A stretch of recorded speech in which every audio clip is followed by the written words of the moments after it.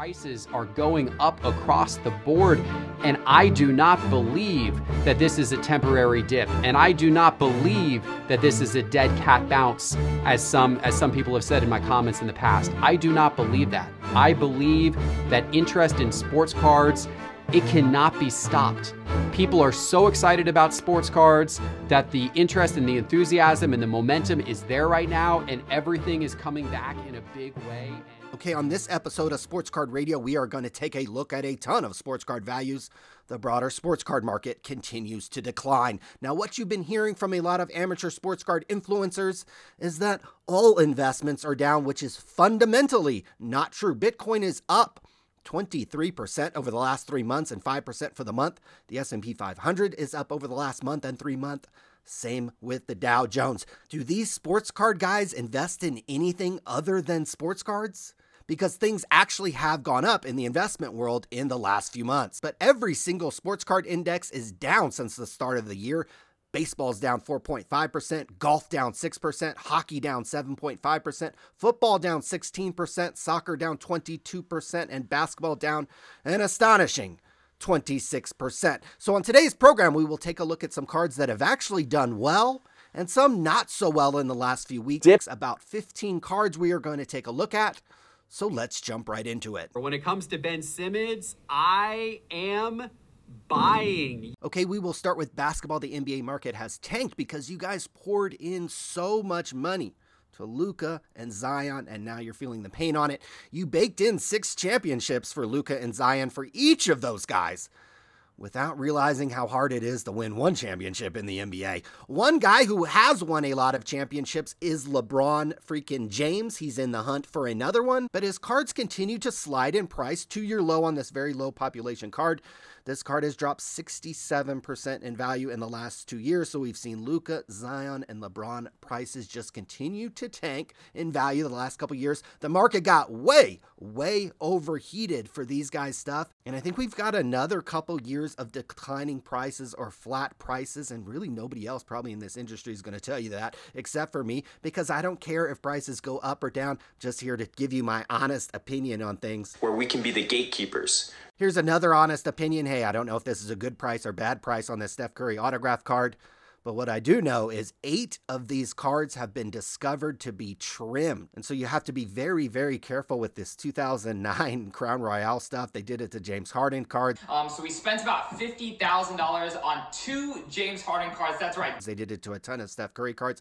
A lot of these cards have been doctored. And yes, they will end up in a BGS holder, a PSA holder, an SGC holder, and anybody's holder. It's just hard for the grading companies to catch this type of stuff. So literally eight of these 300 199 cards of Steph Curry have been discovered to be trimmed already. Uh, wouldn't surprise me if this particular one had been worked on or doctored as well. So just be very, very careful when you're buying even some of this modern stuff, especially Curry.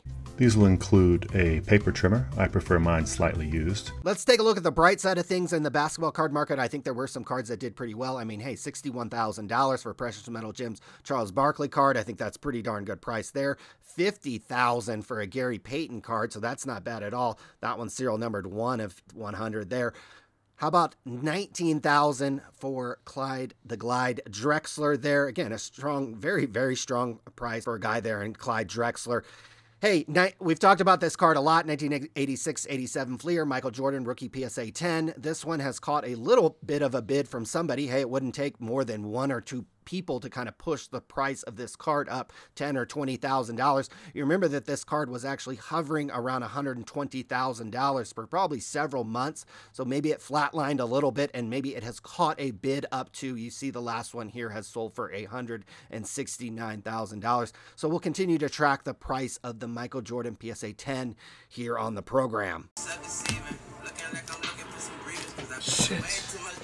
I don't know why that's on the box. I thought they were supposed to hide that. They were supposed to hide that shit. Shit. No, don't, don't, don't, be Casey. Don't be Casey. No, no. Why'd they do that? Something that I just found pretty interesting and maybe something that's just underpriced are these game used jerseys. Here's a rookie De'Aaron Fox jersey. Hey, my nieces and nephews love this guy. They they would recognize and know this guy, De'Aaron Fox, more than they would recognize Shaq and Kobe and Jason Williams and Mike Bibby and Chris Webber and Vlade Divac and Scott Pollard. So $2,500 for a De'Aaron Fox rookie jersey. I just think in the long run, something like this might be underpriced where some of his valuable cards might be uh, overheated or overpriced at this point. There's nothing. Go ahead and sit down.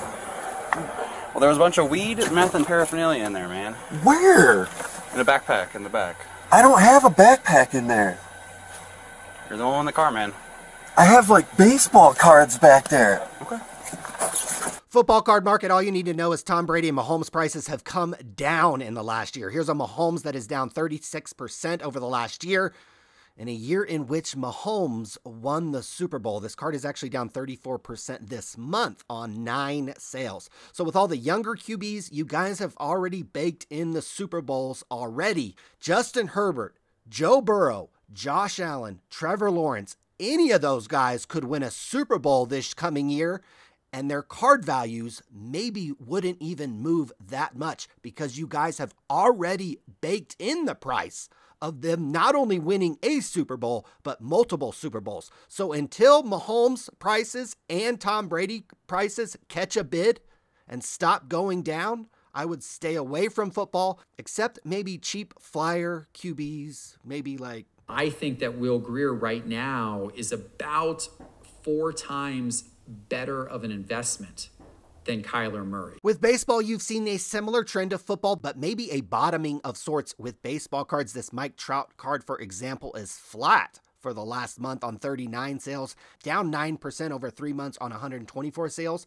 But zoom out six months, and this card is back to flat on 251 sales. And now zoom out one year, and this card is down 41%. So, somewhere in the last six months, at least on this particular Mike Trout card, it has caught a bid. If you look at the same graphs for a PSA 9 of this card, you see a similar trend. This card is flat over the last six months after being down huge over the last two years. Where I'd be careful with baseball is overpaying for younger players. Anthony Volpe, 22 year old kid playing in New York City he's going to struggle for a while before things come together for him. Similar struggles a little bit for Bobby Witt Jr., hitting 232 this year. He's a 22 year old kid. He probably should be playing in double or triple A right now. Both Volpe and Witt will probably be good or very good players by the time they are 25 or 26 years old.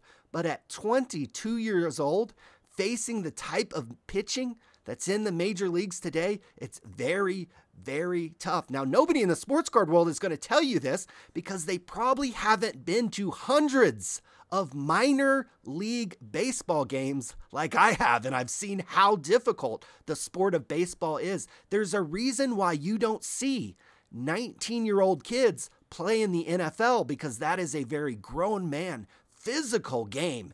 Baseball's deceptive because it isn't physical like football. You'd think some 19 year old kid could come up and dominate in baseball, but it's just not that type of sport. The skill level to be good at hitting, at pitching, and even especially defense is absolutely unbelievable. And you actually hone those skills over many years. And with Volpe and Witt being only 22 years old, those guys are learning on the job at the major league level. That is very, very difficult. Again, those guys should be playing probably in double or triple A right now. They've they've been rushed or brought up for whatever reason, and they are going to struggle probably for the next couple years as as hitting in Major League Baseball has become increasingly difficult as the pitching continues to improve year after year. Bo Bichette. Okay, back to the bright side of things. Let's take a look at a couple prices of sports cards that I think ended very, very strongly. 1998 Flair Showcase,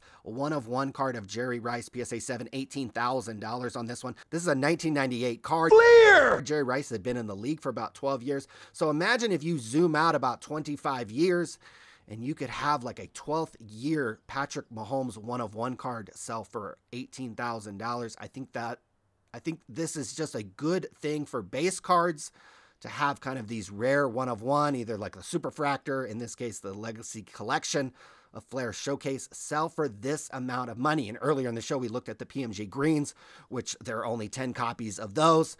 I just think, you know, it's very, very strong that these parallels, that these one of ones of base cards uh, sell for such a strong price all these year later. Speaking of strong price, over here on PWCC, this Rock one of one PSA 7 sold for $126,000. This is the highest priced wrestling card of all time. No wrestling card has ever sold for this amount of money.